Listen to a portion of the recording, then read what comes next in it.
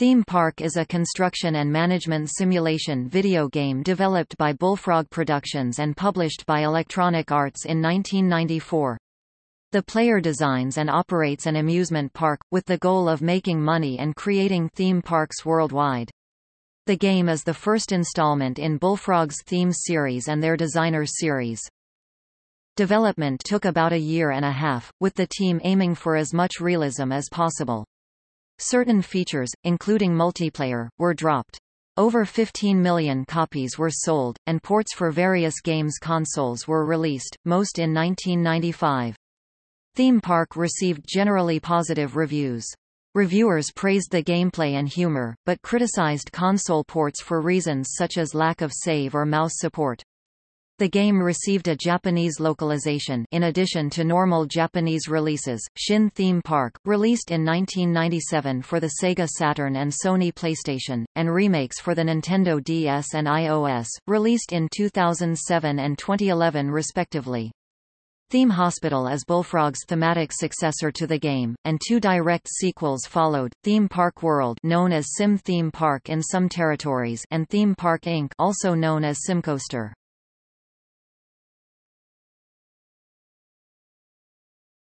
Topic: Gameplay. Starting with a free plot of land in the United Kingdom and few hundred thousand pounds, the player must build a profitable amusement park. Money is spent on building rides, shops, and staff, and earned through sale of entry tickets, merchandise, and refreshments. Shops available include those selling foodstuff such as ice creams or soft drinks, and games such as coconut shies and arcades. Their attributes can be customized, which may affect customers' behavior, for example, affecting the flavor of foods e.g. by altering the amount of sugar an ice cream contains may affect customers' enticements to return. Facilities such as toilets, and items that enhance the park's scenery such as trees and fountains can be purchased. Over 30 attractions, ranging in complexity from the bouncy castle and tree house to more complicated and expensive rides such as the roller coaster and Ferris wheel are available. Also available as rides are shows called acts with themes such as clowns and medieval. Certain rides, such as roller coasters, require a track to be laid out. The ride complement varies between platforms, for example, the PlayStation version is missing the medieval and dolphin shows. Rides require regular maintenance, if neglected for too long they will explode. Depending on the platform, it is possible to tour the park or the rides, visitors arrive and leave via a bus. The entry price can be set, and loans can be taken out. The player starts with a limited number of shops, rides, and facilities available. Research must be carried out to purchase others. Research can also make rides more durable, staff more efficient, and buses larger with increased capacity. The topic of research and how much funding goes into it is determined by the player. Staff available for employment include entertainers, security guards, mechanics, and handymen. Lack of staff can cause problems, including messy footpaths, rides breaking down, crime, and unhappy visitors. If visitors become unhappy, thugs may come to vandalize the park by committing offenses such as popping balloons, stealing food, and beating up entertainers. Occasionally, wages and the price of goods must be negotiated. Failure to reach an agreement results in staff strikes or loss of shipment. Theme Park offers three levels of simulation, the higher difficulties requiring more management of aspects such as logistics. For example, at full level, the player must manage research, negotiations, stocks, and shares. On Sandbox, the game does not involve those aspects. The player can switch mode at any time. Game time is implemented like a calendar. At the end of each year, the player is judged on that year's performance against rivals. Game speed can be adjusted, and staff can be moved by the player. Cash awards may be earned for doing well, and trophies may be awarded for achievements such as having the longest roller coaster. The goal is to increase the park's value and available money so that it can be sold and a new lot purchased from another part of the world to start a new theme park. Once enough money has been made, the player can auction the park and move on to newer plots, located worldwide and having different factors affecting gameplay, including the economy, weather, terrain and land value. The Mega Drive and SNES versions feature different settings e.g. desert and glacier depending on the park's location.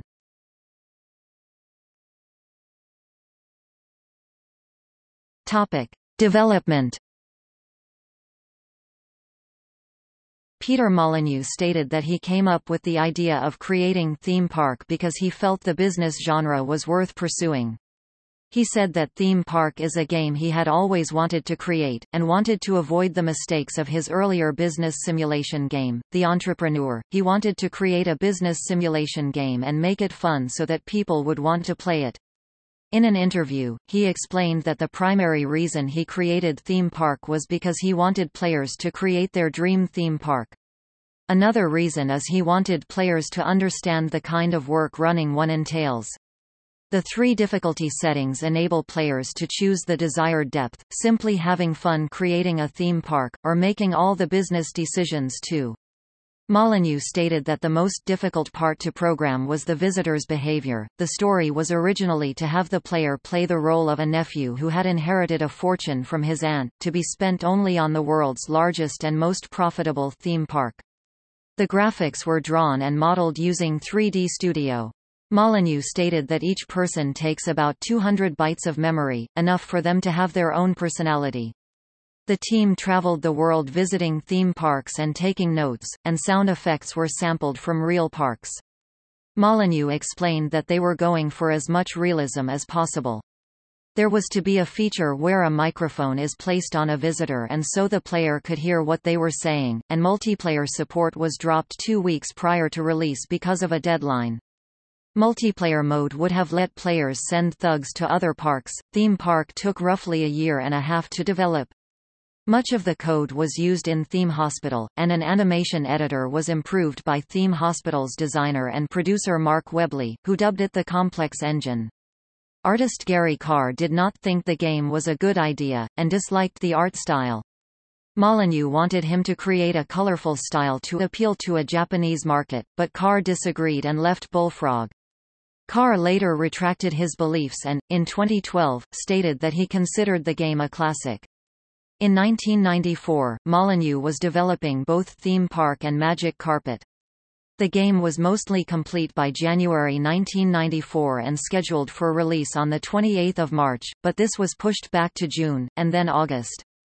Theme Park sold over 15 million copies, and was extremely popular in Japan the Japanese PlayStation version sold 85,000 copies within weeks, as well as Europe. Theme Park did not sell well in the United States. Molyneux hypothesized that this was because the graphics are too childish for American audiences. The game is the first installment in Bullfrog's Designer series, and it was intended for the series to use Theme Park's engine and for each installment to have three simulation levels. The PC version was sponsored by Midland Bank, the PlayStation port was developed by Krisalis Software, and released in 1995. The Mega CD port features CD soundtrack, and was developed by Domark and released in the same year. Bullfrog developed the Mega Drive port, which was mostly complete by April 1995, and the Saturn port, released in October 1995. Other ports include the Amiga CD32, Atari Jaguar, 3DO Interactive Multiplayer, Super Nintendo Entertainment System, and Macintosh. Mark Healey handled the graphics for the Mega Drive and Super Nintendo Entertainment System versions. The graphics were completed in three days. The PC version was released on GOG.com on 9 December 2013.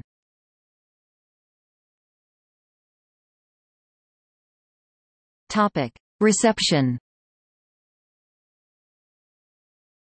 Theme Park received critical acclaim. The gameplay, graphics, and addictiveness in particular were well received. A reviewer of Edge commented that the game is complex, but praised the detail and addictiveness. PC Gamer's Gary Whitta was highly impressed with the game, he eulogized the fun factor and compared it to that of SimCity 2000. He also praised the gloriously cartoony graphics and exceptional soundtrack. Theme Park was named as the PC Gamer June 1994 Game of the Month. Computer and Video Games' reviewer complimented the cute graphics, and described the game as fun and feature-packed. The visitors and ride animations were complemented by French magazine Joystick. The Jaguar version was noted by critics as having problems such as slowdown and lack of a save option, although some liked the graphics and gameplay. The four reviewers of Electronic Gaming Monthly commented that the game itself is great fun, but that the Jaguar conversion had confusing menus and dithered text which is excessively difficult to read. GamePro echoed these criticisms and further stated that the Jaguar version suffers from frustrating slowdown. They summarized that, "...Ocean didn't work hard enough to make Theme Park look and sound good on the Jaguar." A reviewer for Next Generation took the reverse position, saying that the Jaguar conversion is seamless, and the game itself was mediocre. Their elaboration was that Slow gameplay and confusing layouts keep it from ever achieving the addictiveness of the other God games, and most players will find themselves bored before they've even run through all of the options. German magazine Atari Inside's reviewer complimented the addictiveness, but the lack of save opportunities was criticized, and a reviewer from Saint Computer believed the game's complexity and colorful graphics assured it of being long and attractive. Mega Fun's main criticism of the Jaguar version was its inability to save in-game. The Saturn version was noted as being mostly faithful to the PC original. Sam Hickman of Sega Saturn magazine praised it for retaining the original intro, music, speech samples, and features of the PC version all of which had been left out of most previous console versions, although a reviewer from the Japanese magazine of the same name criticized the lack of mouse support. Electronic Gaming Monthly's reviewer held a similar opinion to that of Hickman by commending the Saturn version for being a comprehensive port of the PC original, and also applauded the addictive simulation gaming of Theme Park, calling it, SimCity with a playful spirit. Mean Machines Sega's reviewer compared it to the Mega Drive version, citing the save function and variety of entertainers as major improvements over that version.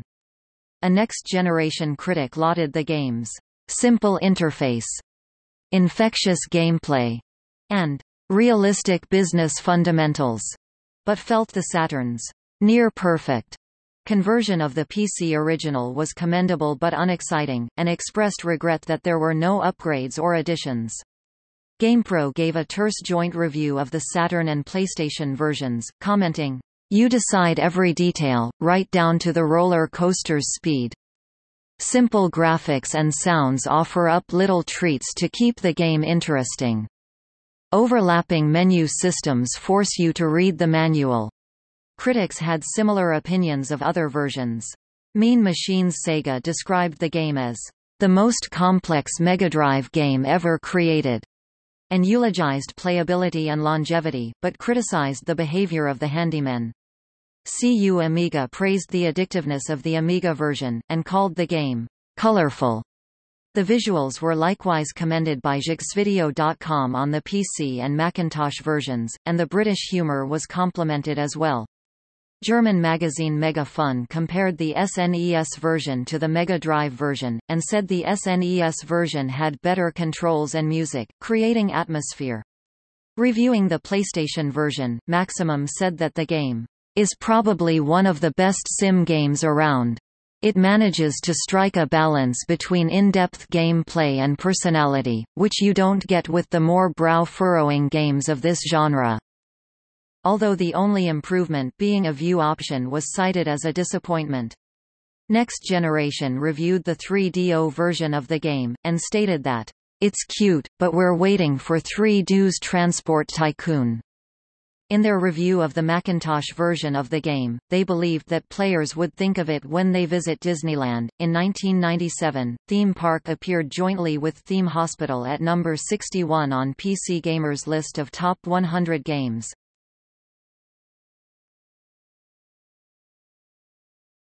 Topic: Re-releases.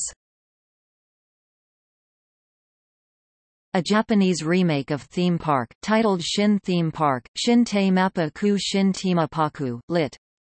New Theme Park was released on the 11th of April 1997 by Electronic Arts Victor for the Sony PlayStation and Sega Saturn. This version is different to other releases in Japan, the game's style and visuals are changed. The game was remade for the Nintendo DS by EA Japan. It was released in Japan on 15 March 2007 with releases in the US and Europe on 20 March 2007 and 23 March 2007. New features of the game are the user interface, which was designed to fit the stylus functionality of the DS platform, and bonus rides, shops exclusive to certain properties, such as a tea room themed on an AEC Routemaster bus for England, Japanese dojo-style bouncy castle for Japan, a Colosseum-themed pizza parlor for Italy, a La Sagrada Familia-themed paella restaurant for Spain etc. The remake is based on the DOS version. The game differs from the original in that the game provides four different advisors. Theme Park was remade for iOS in 2011. Items can only be placed on designated places, and the game relies on premium items. Rides can cost up to $60 £46 in real money, and for this reason the game was not well received.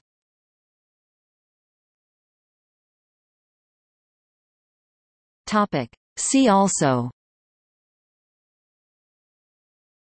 Parkitect Roller Coaster Tycoon